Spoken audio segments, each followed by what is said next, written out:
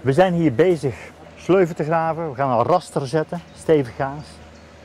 En dat doen we om hier jonge weesdassen een plaats te geven. Een uitwenren zou je het kunnen noemen.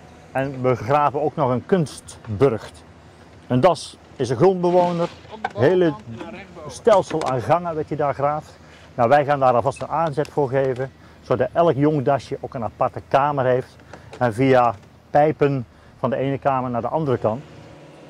We hebben met das en boom hebben we een aantal plekken bekeken in dit deel van Brabant. Dit was de beste locatie. Heeft te maken met het feit dat op deze plek nog geen dassenburgt zit, maar al wel in de buurt.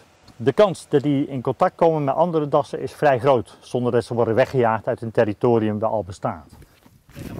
Het Brabants landschap heeft zich altijd al sterk gemaakt voor de das. 30 jaar geleden al hebben we gevochten, geknokt voor doorgangen onderwegen door.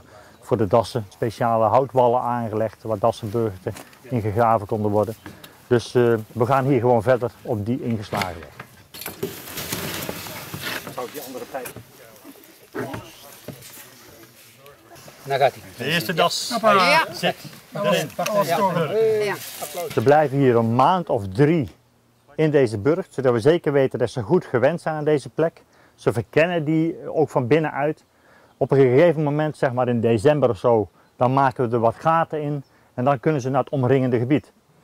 En dan is het afwachten of ze volgend jaar hier nog zitten, of dat ze hier een soort uitbouw van gaan maken van hun burcht, of dat ze verkassen naar een andere plek.